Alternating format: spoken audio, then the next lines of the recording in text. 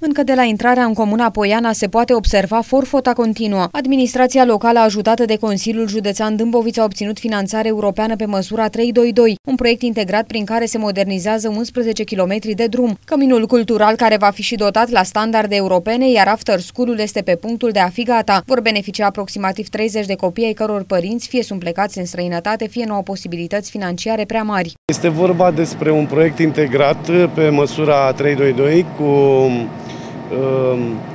accesare de fonduri de la Uniunea Europeană.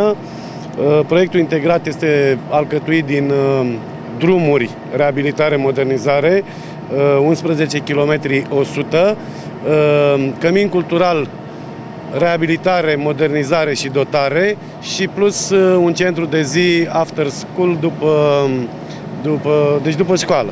Reprezintă componenta principală a obiectivului cu finanțare prin uh, FADR, așa cum aprecia domnul uh, primar și cu uh, mobilizarea constructorului, cu utilajele și forța de muncă desfășurată, apreciem că până la sfârșitul lunii noiembrie obiectivul se va finaliza. Valoarea totală a proiectului integrat este de 94 de miliarde lei vechi.